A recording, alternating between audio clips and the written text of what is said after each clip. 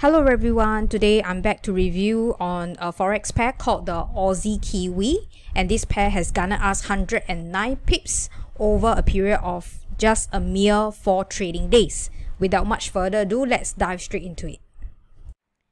On 18th of January 2024, there was an alert coming through from the TAW dashboard that alerted us that perhaps there could be some bullishness coming in from Aussie Kiwi.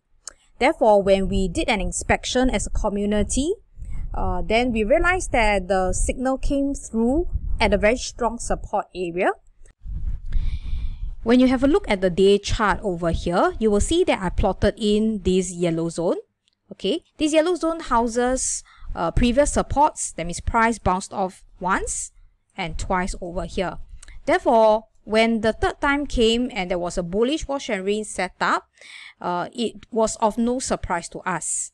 And as a community, we were targeting to take our profits near to the resistance level over here. And this resistance level was reached in a matter of about 4 days and that garnered us 109 pips. With this, I've come to the end of the sharing. If you have enjoyed the video, do give us a like and subscribe.